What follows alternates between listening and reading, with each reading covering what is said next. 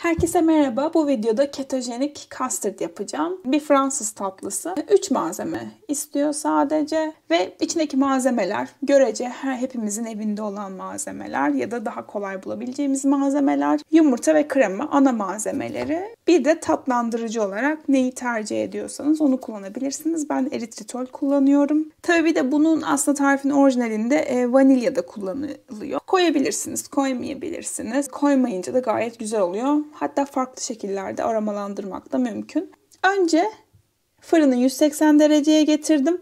Kettle'a da su koydum. Birazdan göstereceğim neden olduğunu. Şimdi hemen yapımına geçeyim.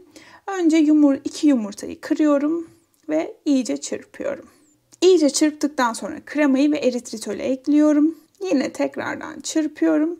Şimdi bunları fırına girebilecek kaplara bölüştürüyorum. Tabii dediğim gibi bunu aromalandırmak mümkün. Hmm, farklı çeşitlerde yiyebilirsiniz.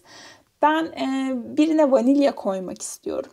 E, bir tanesinde limon hem limon kabuğu rendeleyeceğim hem de böyle bir tatlı kaşığı kadar da limon suyu koyacağım. Çok güzel oluyor limonlu da.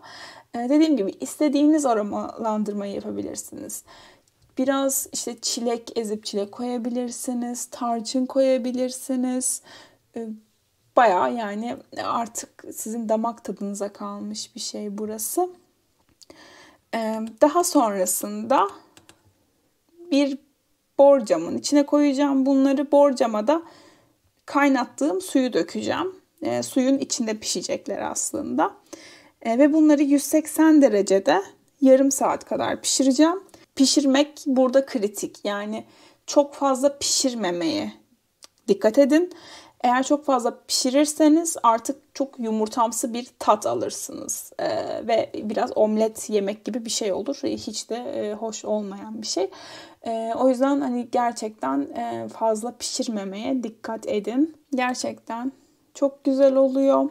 Bu piştikten sonra üstü böyle hafiften yanacak. Evet gördüğünüz gibi üstü biraz yanıyor. Limonlu olan üstü diğerleri gibi yanmamış ama yani tadında tadı gayet güzel oluyor. Üstünü de süsleyebilirsiniz. Ee, ben mesela biraz limonlu olanın üstüne limon kabukları rendeledim. Hmm, vanilyalı olanın üstüne biraz kakao parçacıkları koymak istedim. Yani süslemeden de bence gayet hoş duruyor aslında. Ee, çilek ya da orman meyveleri doğrayabilirsiniz. Çikolata koyabilirsiniz. Yani biraz krema koyabilirsiniz. Hindistan cevizi rendesi koyabilirsiniz. Belki biraz fındık, ceviz parçaları koyabilirsiniz. Tamamen artık e, sizin zevkinize kalmış bir konu. Bu kadar. Gayet kolay gördüğünüz gibi. Çok fazla malzeme de istemiyor. Afiyet olsun. Görüşmek üzere.